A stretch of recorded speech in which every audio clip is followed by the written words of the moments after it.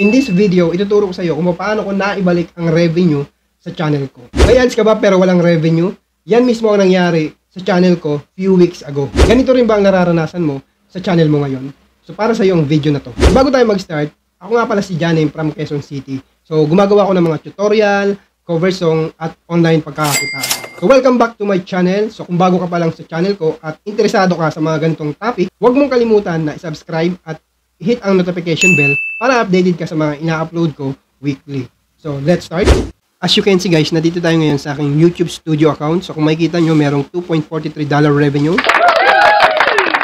So, bago tayo mag-start, so I suggest i-uninstall mo muna yung YouTube Studio apps mo kung meron ka para ma-desktop site mo siya at masundan mo yung mga ituturo ko sa iyo step by step. Okay, so bago tayo mag-start, play ko lang yung video na kung saan yung nawala, yung, yung time na nawala yung aking revenue o na-freeze siya. Okay? So, talagang na-record ko siya para mag- makagawa tayo ng, ng ganitong tutorial. So, play na natin. So, kung makikita nyo, August 25, nag, nag-start na nawala siya. Okay? So, nakakalungkot kapag ka, ang isang small YouTuber katulad ko, no, na nawalang revenue kasi walang kita. Tama ba? So, yun. So, post na natin. So, itong ituturo ko sa iyo, I hope na masundan mo siya para may apply mo siya if ever na mangyari ito sa iyo. So, ang una mong gagawin, i-click mo lang itong content. And then, i-click mo itong box. So, actually, nakaganyan siya. So, i-click mo yung video. Yan. Para maklik mo siya lahat. And then, i-click mo yung edit.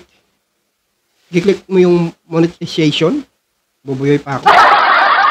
And then, i-click mo yung on, i-click mo yung off. Kumbaga, ililipat mo siya sa off. Okay?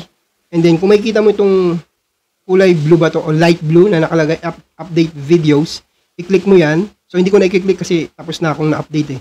So, i-click mo yan para mag-off lahat ng ads mo. Okay? So, papatay mo lahat ng ads mo for one week. So, gagawin mo siya guys para ma-review lahat ng account mo.